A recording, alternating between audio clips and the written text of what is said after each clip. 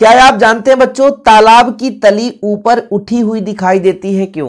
जब आप तालाब के पास जाते हैं और तालाब में स्वच्छ पानी होता है तो ऐसा लगता है कि गहराई कम है। लेकिन जब आप अंदर जाते हैं तो आपका पैर डूब जाता है। कई बार ऐसा हमारे साथ हुआ है बचपन में। इसके पीछे फिजिक्स हम कब समझे? जब ट्वेल्थ में आए थे। कि वास्तविक रूप से यदि मान लीजिए तालाब के अंदर रेत है और स्वच्छ पानी है, यदि मटमैला पानी है तो फिर आप उसको नहीं समझ पाएँगे।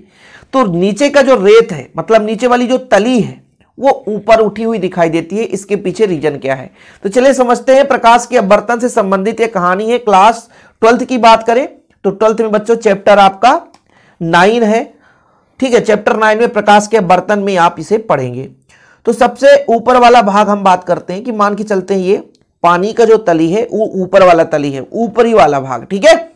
और भाई, ज़मीन वाला भाग यदि नीचे वाला भाग हम देखते हैं तो यहाँ पर हम बना देते हैं कि ये लो भाई, ये हमारे नीचे वाला भाग है। अब इसमें पूरे में पानी भरा हुआ है तो पानी तो बताना पड़ेगा ना, तभी तो आप समझ पाओगे कि भाई, तालाब है ये पूरा का पूरा तो पानी तो भरा ही रहेगा। हाँ स्वच्छ पानी। ऐसा स्वच्छ पानी है जिसके सहारे हम तालाब के तली को देख पा रहे हैं।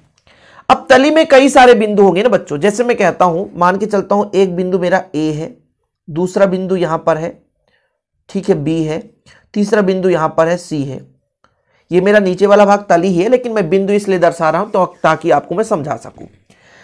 अब प्रकाश किरणें, जिस बिंदु को हम देखना चाहते हैं, उस बिंदु से प्रकाश किरणें चलती है। जैसे मैं कहता हूँ कि मैं कहाँ से देखूँगा भैया? बिरल माध्यम से देखूँगा। तो ये मेरा ऊपर वाला बिरल माध्यम है। यहाँ अंदर जाके तो झांकूँगा नहीं, बाहर से ही देखूँगा।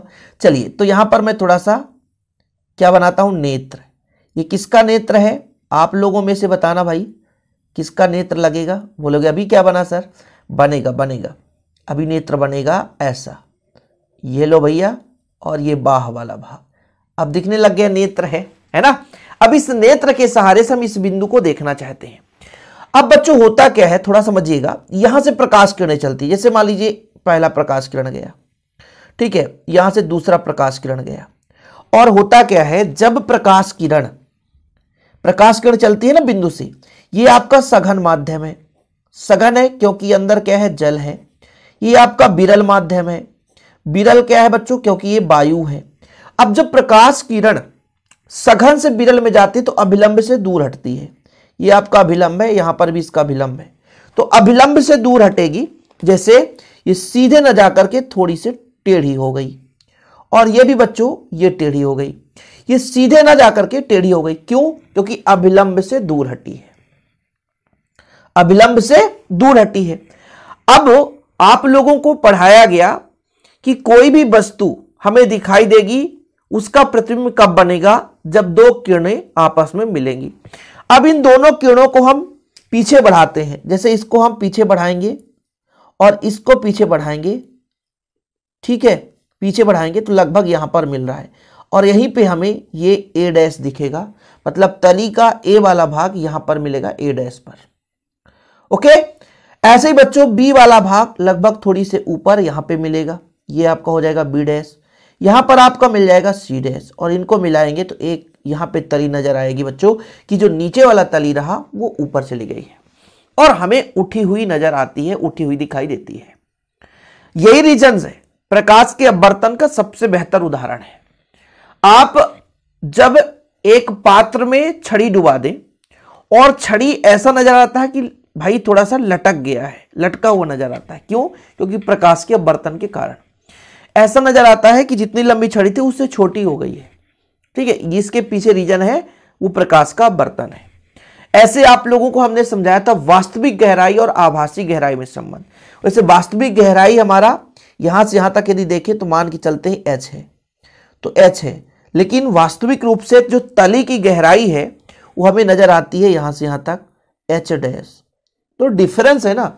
तो वास्तविक और आभासी गहराई में यह डिफरेंस होता है बच्चों। ओके?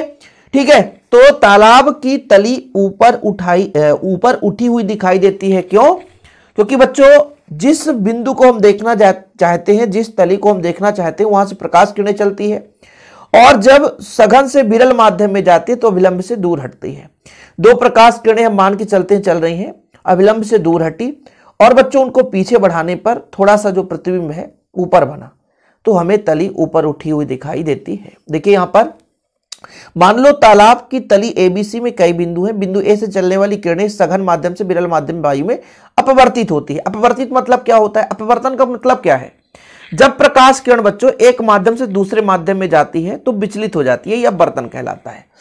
अतः अभिलंब से दूर हट जाते इन किरणों को पीछे की ओर बढ़ाने पर यह किरणें ए पर मिलती है। अतः ए बिंदु का प्रतिबिंब ए बिंदु यहाँ पर ए डैश, बिंदु ए का आभासी प्रतिबिंब होगा। इसी प्रकार बी सी बिंदुओं का प्रतिबिंब बी डैश सी डैश पर बनते हैं। अतः तालाब की तली ऊपर उठी हुई दिखाई देती है। डायग्राम भी बना है लेकिन मैं अलग से डायग्राम बना के आपको समझाया ताकि आपको समझ में आ सके। ओके बच्चों, छोटा सा टॉपिक रहता है, लेकिन इंटरेस्टेड रहता है नॉलेजेबल रहता है। प्लीज़ यदि वीडियो पसंद आए तो लाइक करके शेयर कर दें। ऐसी वीडियो पाने के लिए चैनल को सब्सक्राइब कर दें। जय हिंद बंदे मातराम।